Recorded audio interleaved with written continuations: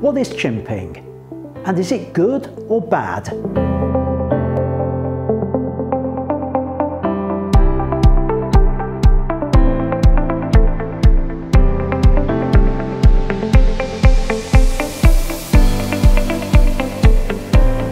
Hello, welcome to Ian's Studio. I'm Ian. Butterfield. If this is the first time watching one of my videos, please take a moment to hit that subscribe button and uh, ring the bell so that you'll get updates and on videos which will help improve your photography.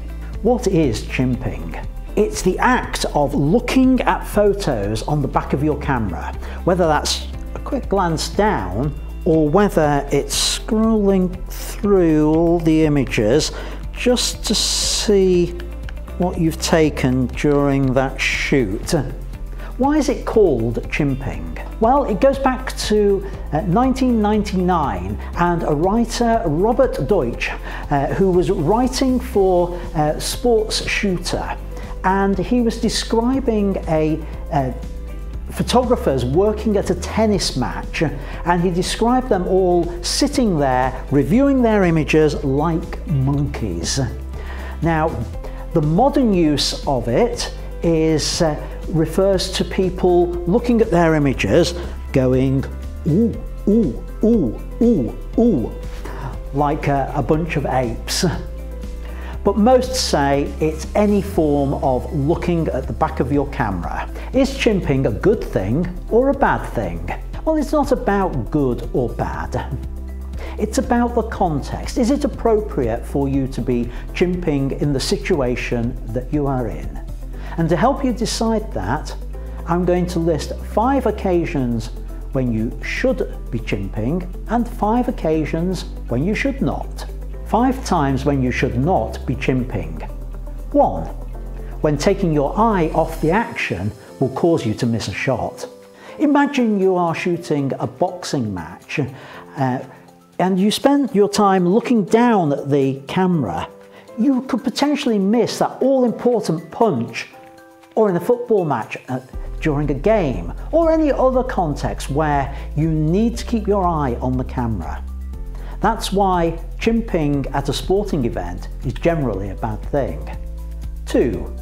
When neither lighting nor settings have changed. It's a good thing to use chimping and the information on your back of your camera to help set your, your camera up for the shot. But if you're not changing the lighting or the lighting around you isn't changing and you're not changing your settings, then what good is the information on the back of the camera to you? It's not going to help you change anything. So once you've got your settings right, once you've got your lighting right, then just get on and take the shots and concentrate on building the rapport with your subject. Concentrate on the composition, not on what's on the back of your camera. Three, when you are preventing other photographers from getting their shots. Now this is a bit of a pet hate of mine and I've seen this in uh, a number of contexts. Uh, I've seen it quite a lot when doing travel photography. Somebody rushes off the bus, they get into the prime position to, uh, to create their image and then they get the shot and then they just stand there reviewing their images, stopping everybody else from getting a similar shot. I've also seen it in the studio where somebody uh, particularly in the group shoot I'm, I'm thinking about here, uh, where somebody's uh, taken their images and instead of moving out of the way so the next photographer can get in, they spend the time reviewing the images, trying to work out what worked and what didn't. And it just slows things down for everyone. Four, in an unsafe environment. Now, if you're a travel photographer, sometimes you'll go to places which are not necessarily the safest in the world, where crime rate can be particularly high. For example, uh, in Brazil, you might want to photograph an area that's uh, known for, for its crime. In these circumstances, you don't want to draw attention to yourself and you don't want to draw attention to your gear. So don't stand around chimping, get the shot, get the camera put away, and then move on to somewhere else. Do not draw attention to yourself by reviewing your images at the location. Five, when you can't retake the shot. And for example, if you're going along the seafront and there are waves splashing over onto people and you're photographing that, as I was here in Funchal, you either get the shot or you don't. There's no point looking at the back of the camera because it's happened. You might as well just move on and find the next thing to photograph. It's not going to change things by looking at the back of the camera. So anything like this, or somebody jumping off a cliff, then you've already got it or you haven't got it. Time to move on. No point in spending time chimping.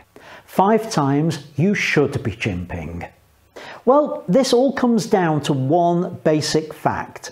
Is the information on the back of your camera going to help you correct an error or help you improve the shot that you have created? One, to check exposure. And yes, it's good to use the back of the camera, particularly the histogram, to check that your image is correctly exposed. And I always encourage people to have the histogram on display and you're effectively using your camera as a light meter.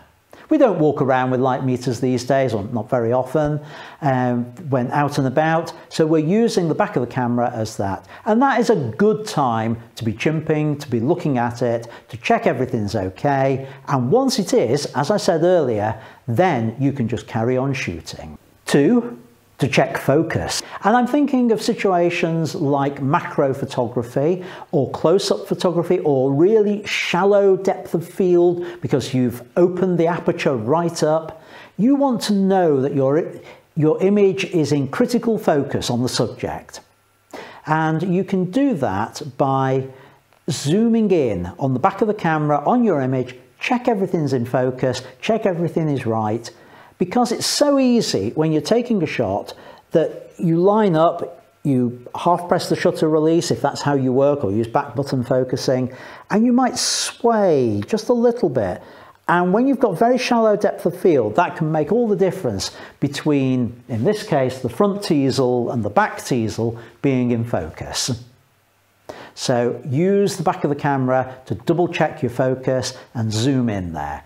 Three, to check lighting. If you're shooting in a studio and you're working with strobes or um, studio lights, you can't see what that light's going to look like uh, until the image has been created. So that's a good time to look at the back of the camera and to check that the lighting is correct. For example, in this shot here, a film noir night, we're putting light um, from a speed light through a Venetian blind to create a pattern on the background. I needed to look at the image on the camera to make sure that that shadow was in the right place. So that's a good time to be chimping. Four, in rapidly changing lighting conditions. And I'm thinking of two examples here. Maybe you're outside shooting and the, the clouds are coming in, in front of the sun, they're going again, and you, the light is changing rapidly. You need to keep checking the back of the camera, making sure your image exposure is correct so that you can adjust for that and that you can compensate for it. Uh, the other example I'm thinking of is theatre photography. We may think the lighting is fairly even across the stage, but in reality, quite often it isn't. So as an actor moves from one area to another, or the lighting changes as part of the production, you need to be checking the back of the camera to make sure your exposure is still uh, correct.